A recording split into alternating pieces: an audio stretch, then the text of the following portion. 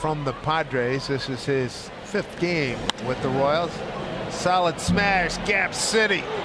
Run, Jean, run. Cain will get it back in. He's going to go for three. Here's a throw to third. He's in there safely. Jean Segura with a leadoff triple here in the eighth inning. And the Mariners already in business for Segura, his first triple.